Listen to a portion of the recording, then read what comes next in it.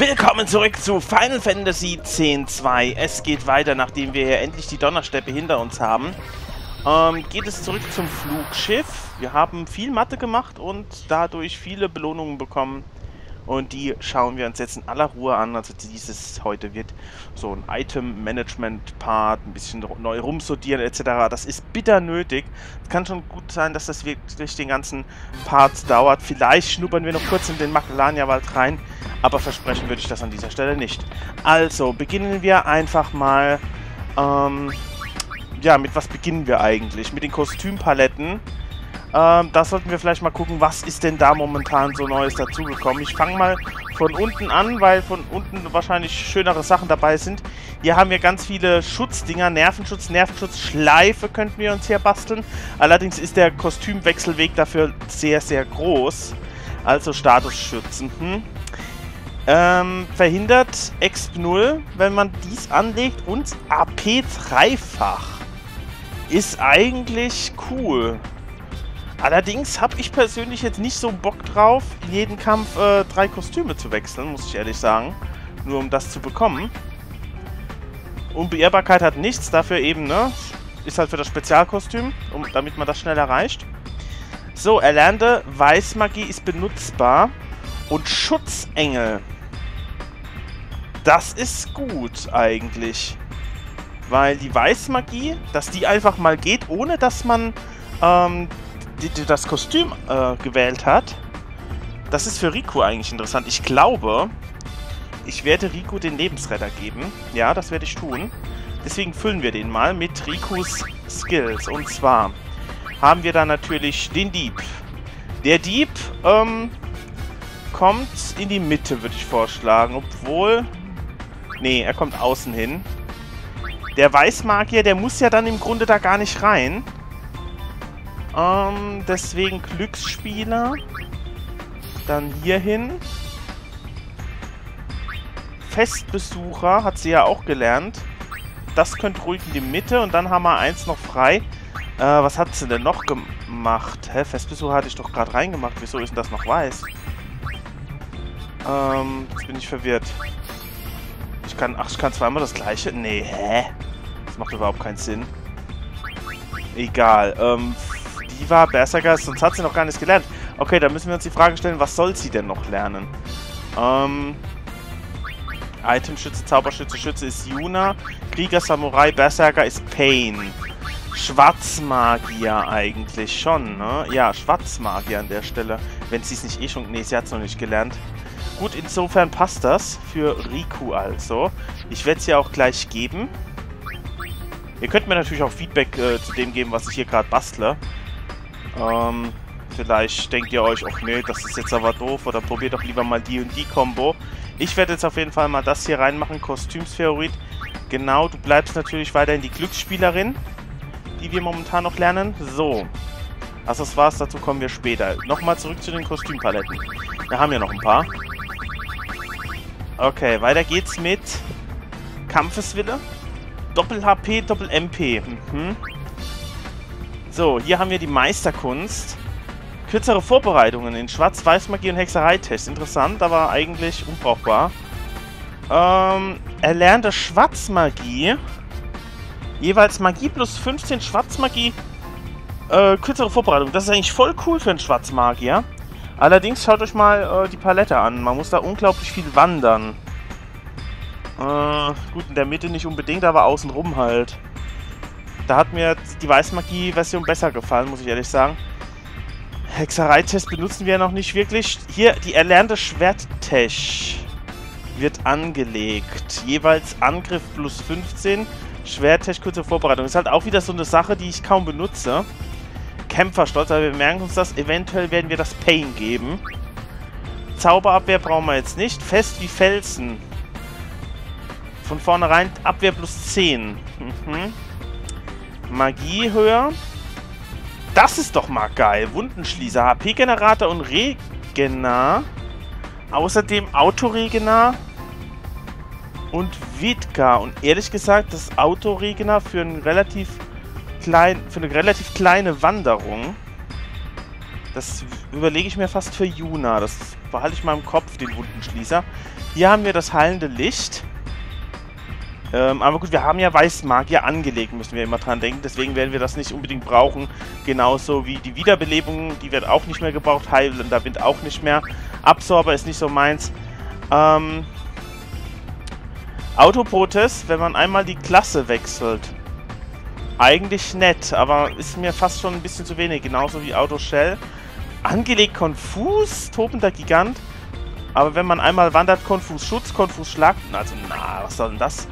Angelegt stumm, blind, nein, braucht man nicht. Schlaf, Bio, der ganze interessiert mich nicht. Der Sog interessiert mich nicht, dafür gibt es Accessoires. Ähm, nein, nein. Ich glaube, da kommt nichts mehr. Jetzt kommen die ganzen... Ähm, ja, das hier, Abwehr. Na, aber ich weiß nicht. Plus 15, plus 10, ja, die schlechtere Variation. Hier das Ganze nochmal mit 15 Angriff, 10 Angriff in die ersten Schritte. Na gut, äh, dann würde ich sagen, nehmen wir doch das, was uns ein bisschen angelächelt hat. Und das war der Wundenschließer für Juna. Soll bedeuten, dass wir hier erstmal die ganzen Schützen reinmachen. Ja, Juna, was kriegst du noch? Die Diva wahrscheinlich. Und äh, mehr noch nicht im Grunde. Ich lasse das Feld da oben mal frei. Das geht ja trotzdem, denke ich mal, ne? Ausrüsten, Juna auf zum Wundenschließer. So, und natürlich bleibst du leider immer noch der Itemschütze. Der ist da, da drüben. So, da, da. Okay. Dann haben wir gesagt, bei Pain war ein bisschen weiter unten. Hat mir zwar nicht so 100% gefallen, aber ähm, warum eigentlich nicht? Das haben wir anscheinend auch schon mal benutzt, sonst wären da ja keine Dinger drin. Wir werden es trotzdem neu anordnen. Also der Krieger ist schon drin, dann möchte ich noch den Samurai haben. Alles erstmal außen herum. Ansonsten gibt es da auch noch nichts, was äh, Pain lernen soll. Deswegen lasse ich den Rest mal frei. Also, Kämpferstolz somit zu Pain. Äh, hat sie schon an. Super. Hat sie schon die ganze Zeit an. Na gut, dann haben wir ja nichts falsch gemacht. Äh, Berserker, klar, gut, dann kann das alles so bleiben. Jetzt gehen wir rüber zu den Accessoires. Bevor wir aber zu den Accessoires gehen, äh, würde ich gerne mal kurz zu meinen Gruppenmitgliedern. Da ist, sind nämlich noch meine, ähm, ja, ich will gucken, dass sie keine Accessoires in sich haben. Deswegen, ich muss mal kurz Wolfi zockt, den Nerochrom und den Alexander Wagner hier reinhämmern. Und gucken, dass die auch nichts haben. Nein, ich will euch nichts geben, ich will nur gucken, Genau, hier zum Beispiel. Raus mit. Ich weiß, dass wir genug von den Kristallreifen haben, aber ich will hier mal Ordnung haben. Ein für alle Mal. Ablegen. So, und das nächste Mal werde ich das äh, so rum machen. Äh, geht gar nicht. Ich kann, wenn ich jetzt nach oben drücke. Okay, dann drücke ich eben mit R2 schneller runter. Ablegen. So. Ne, das war's, Neocom. Du sollst gar nichts haben, verstehst doch. Oh, ich muss ihm irgendwas geben. Na gut, dann kriegst du halt da. Aber du kriegst kein Accessoire. So. Ja, da ist mir egal, was ihr seid. Das werde ich im nächsten Monster-Part sowieso wieder anpassen. So, wer, wer hat... Wer, wen haben mich jetzt noch nicht gecheckt? Moment mal. Nochmal, Ausrüstung habe ich euch alle gecheckt hier. Ach, hier kann ich sie einzeln anwählen. Das geht doch. Ich muss euch gar nicht in die Gruppe hauen. Okay, gut.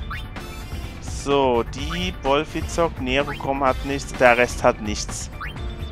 Nochmal checken. Hier, Milli hat nichts.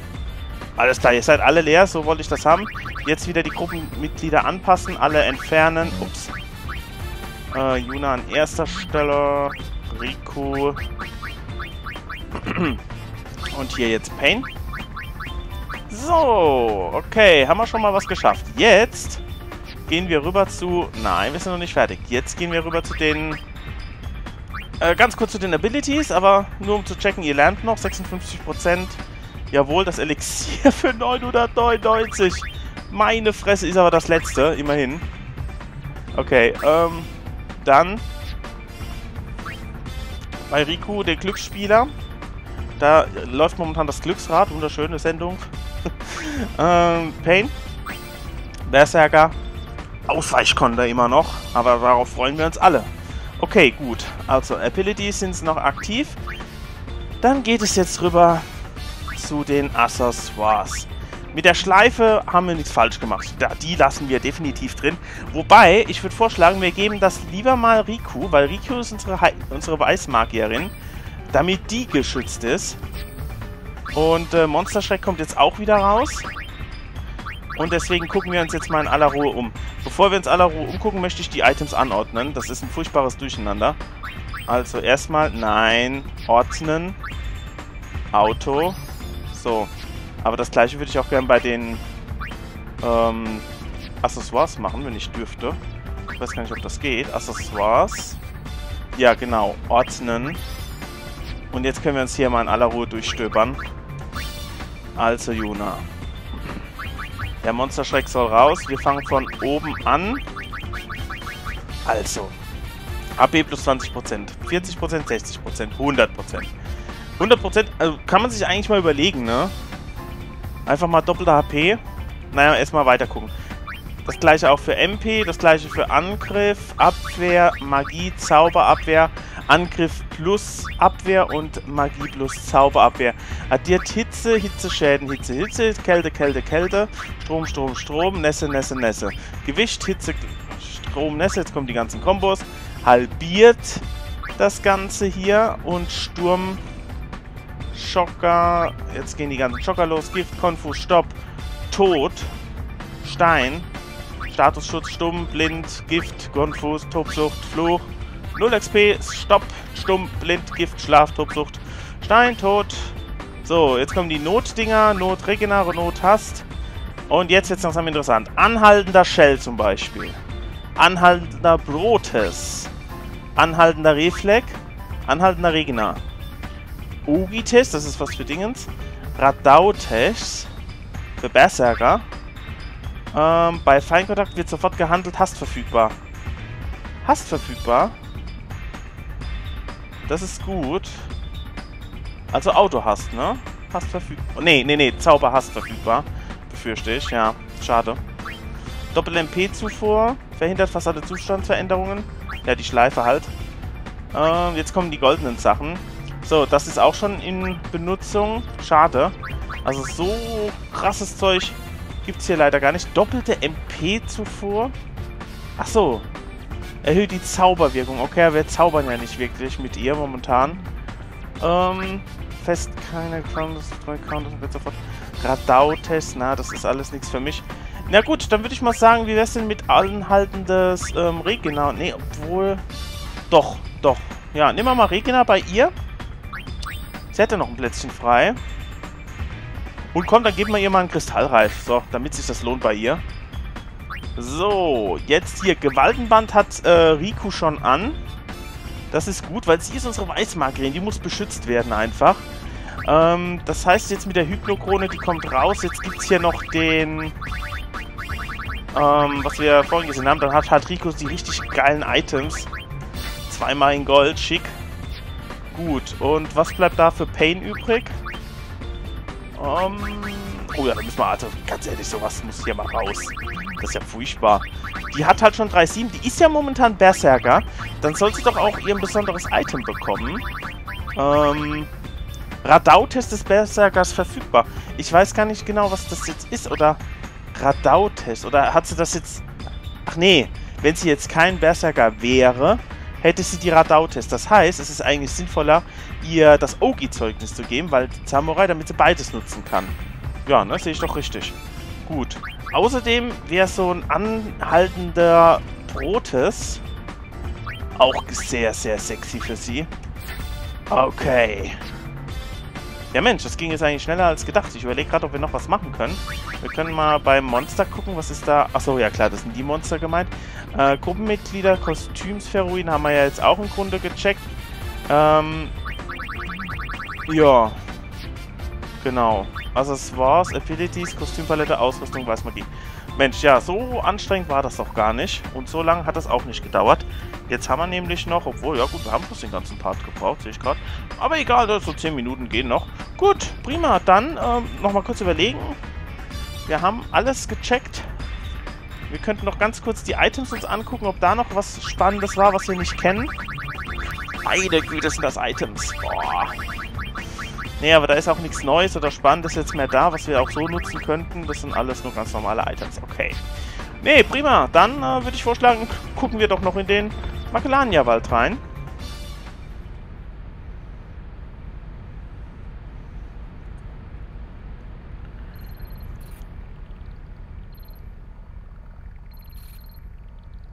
Oh, dauert heute ungewöhnlich lang, aber das wir. Also, Macalania-Wald, die Liste wird weiter abgearbeitet. Wir stehen bei 85% in Kapitel 5 und es nimmt kein Ende. Der Wald schwindet, der Wald droht zu verschwinden. Wird denn wirklich alles verloren sein? Tut mir das nicht an, bitte. Das schönste Gebiet des Spiels, meiner Meinung nach, kann nicht einfach so verschwinden. Mal gucken.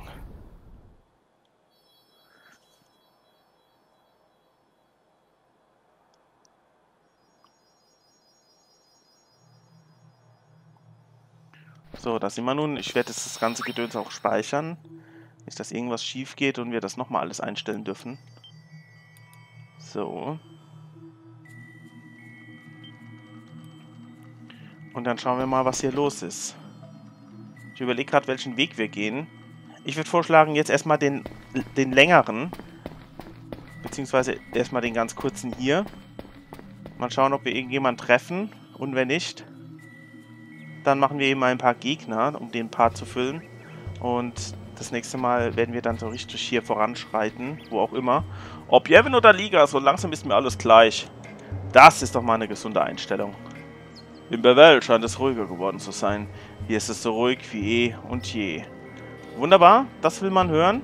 Ich glaube, einen Schritt darf ich noch laufen, dann wären wir schon in Bevel, ne?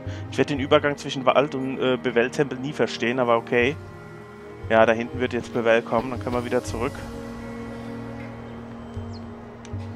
Dann äh, schauen wir hier noch. Da kommt ja dann gleich die stille Ebene, da wollen wir auch noch nicht hin. Aber erst noch hier noch an markante Plätze, die wir einfach nicht vergessen dürfen. Hier zum Beispiel, na gut, das war jetzt nicht so ein spannender Platz. Total leergeräumt, früher waren hier immer Leute, ne? Aber egal. Ach ja, die Quados sind ja jetzt wieder zu Hause. Folglicherweise rennen sie hier nicht mehr rum. Im Wald wird es ruhiger. Vielleicht will er ja genau deswegen schwinden. Aber das kann er doch nicht tun. Ja, hier. Das meinte ich natürlich mit markanter Stelle. Ah.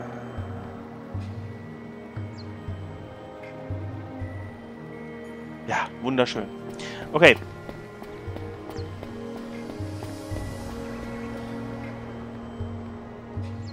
Da hinten wird zur stillen Ebene gehen, deswegen ab zurück mit uns.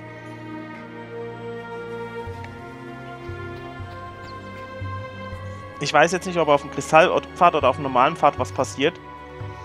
Es ist nur klar, irgendwo muss was passieren.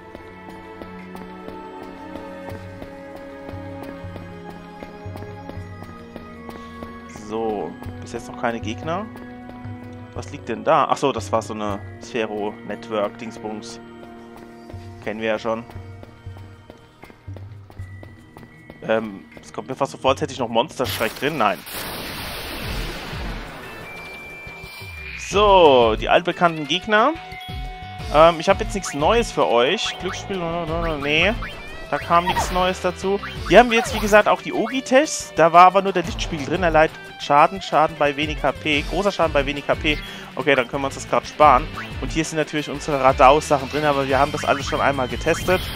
Und bei Yuna gibt es sowieso nichts Neues. Das heißt, jetzt wieder Dauer-Xen und Truffkloppe. So wie wir es am besten können.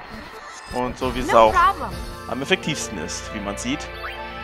Wir sind hier den Gegnermassen immer noch überlegen mit Level 61 plus. Kein Wunder.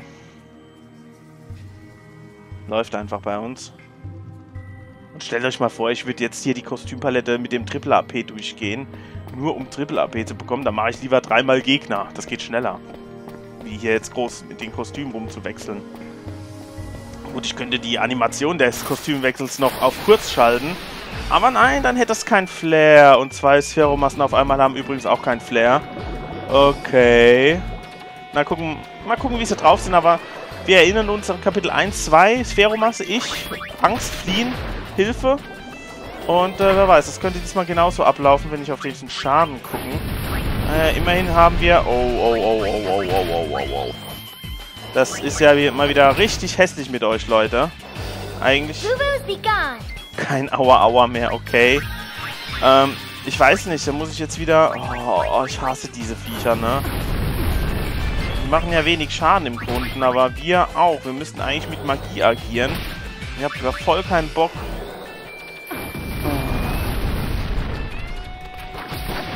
Aber werde ich wohl müssen, sonst dauert das ja ewig. Ich warte jetzt mal, bis Riku dran ist. Aber dann weiß man auch immer nicht, welche Magie. Und jetzt ist die Gruppe schon wieder halt tot. Boah, ich habe keinen Bock. Ich glaube, ich hau ab. Wenn ich's, obwohl, die eine ist schon kaputt. Na gut, wenn die so wenig aushalten, dann ähm, meinetwegen. Jetzt müssen wir nur mal gucken, dass wir hier ähm, noch schnell äh, Rico... Ja gut, dann brauchen wir eigentlich auch keinen Schwarzmagier. Wenn das so schnell geht. Ist zwar nervig, wir können auch trotzdem mal gucken. Ich weiß gar nicht, haben wir Rico im Schwarzmagie schon fertig gehabt? Oder noch gar nicht angefangen? Ich bin mir gerade unsicher. Was wir... Obwohl, ich befürchte, sie hat noch gar keinen Schwarzmagie gemacht. Das sieht übrigens richtig heiß aus. Gefällt mir. Ziemlich klassisch so. Das typische Schwarzmage. Äh, Black Mage äh, Kostüm. So ein bisschen zumindest. Schwarzmagie, ja, das habe ich befürchtet. Da ist nämlich nicht viel zu machen, Riku. Hat sie noch nicht gelernt. Dann können wir uns das auch schenken. Interessant, ne? Dass wir, ähm, achso, sehr praktisch, äh, wollte ich sagen, dass wir gleich hier rüber können, über die Ecke, anstatt auf zwei Berufe wechseln zu müssen. Das finde ich ziemlich cool an, diesem, an dieser Palette. Gut, aber wie gesagt, jetzt haben wir den Schwarzmagier halt mal kurz gesehen. Das wird wohl das nächste sein, was wir mit Rico anpeilen. Und dann, äh, ja, machen wir den jetzt doch auf physischem Wege platt. Hat ja dann doch ganz schnell geklappt. Ich habe jetzt gedacht, die hätten deutlich mehr. Genau, zocken geht immer. So, Pain, dir geht's nicht gut. Aber ich glaube, die Masse ist schon kaputt. Ne, die Masse ist noch nicht kaputt. Egal, wir kloppen jetzt weiter drauf. Ja, wegen dem bisschen, ne? Fange ich jetzt nicht hier groß an. Die sind eigentlich nicht schwer. Die waren mal schwer. Keine Frage. Aber die haben sich nicht gut weiterentwickelt. Wir schon. So.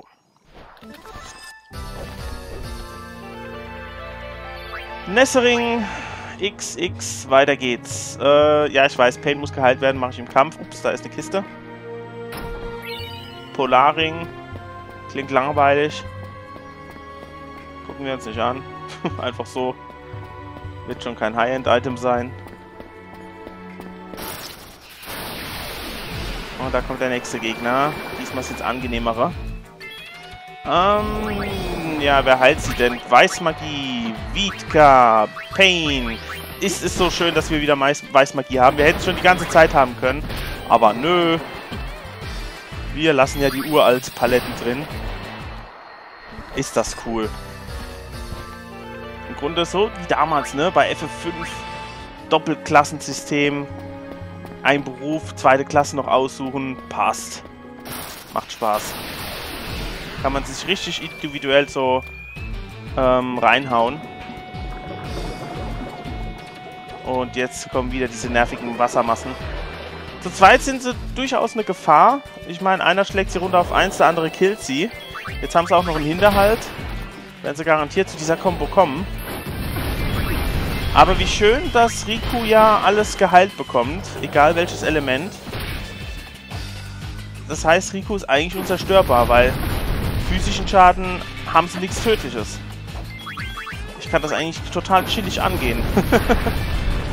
so, ja, da hat sie sich auch gleich hingelegt. Das ist die Combo, die ich meinte.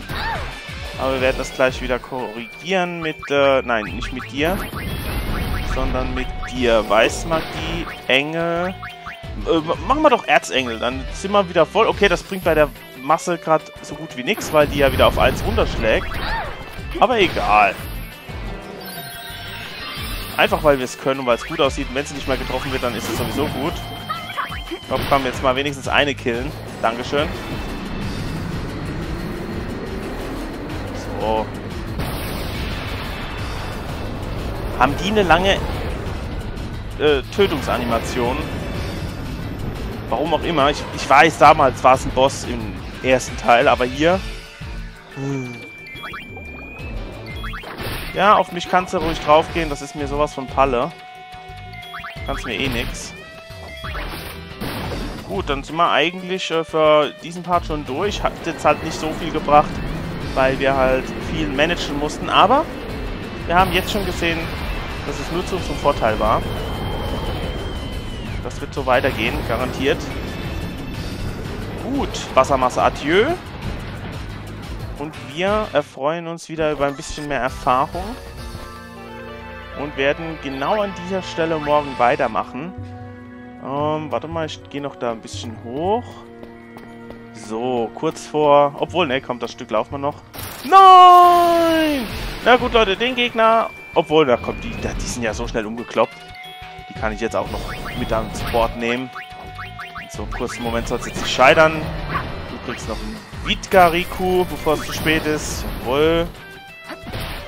Und ihr seid des Todes. Gut, in diesem Sinne, bis zum nächsten Mal dann, wenn es wieder heißt Let's Play Final Fantasy X-2.